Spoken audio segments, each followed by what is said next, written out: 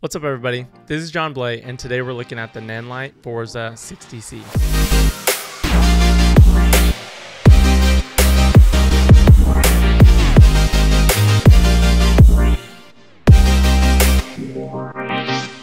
This is a small yet powerful light that has full color capabilities and lets you totally control your lighting experience. I took the 60C out for a spin with my buddy Alex when we went to downtown LA, and I had so much fun using it. I have some experience working with the Nanlite PavoTubes, so this was a really easy transition because the controls, settings, and lighting options are actually pretty much the same. It's such an easy light to use and to get used to, so I got right to work when I got it. I love that the 60C comes in full color, like I mentioned, and allows you to change the hue, brightness, and saturation. It's actually RGB LAC, which stands for lime, amber, and cyan, I actually didn't even know that existed. Please don't make fun of me. But that basically means that it has all the color capabilities you could want, and color accuracy is better than ever. Not only that, but it has special effects just like the PavoTubes, such as lightning, rainbow, explosives, police car, and I tried all of these. They're extremely fun to use. The special effects are actually fully customizable as well, so you can change the timing or the coolness or brightness of them. You can make it your own. When paired with the Nanlite PJ-FMM 19, this light is able to reach even further with a 19 degree extension added to the light. This extender also comes with what I refer to as barn doors,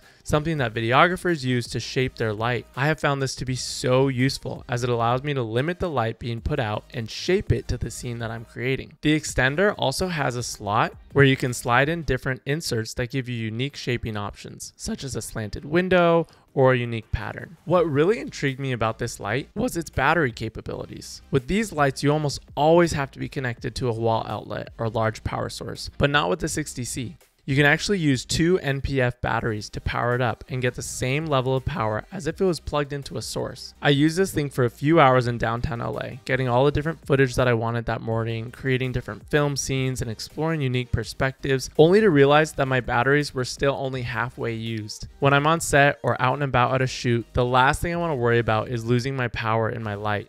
I just keep thinking about all the capabilities of this tiny light and all of the options that I have for photography or videography. I snapped a few photos in Lower Grand to see what sort of effects I could have on my photography. Even in a bright alley, I could see how much fun this light could be and how useful it could be when creating content, filming a video, or taking photos. When carrying it, I just noticed how light it was and how easy it would be to move around and use, even if I was working on a solo project. It's lightweight, compact, and colorful, and can easily be held in your hand. You know how they say don't look into the light?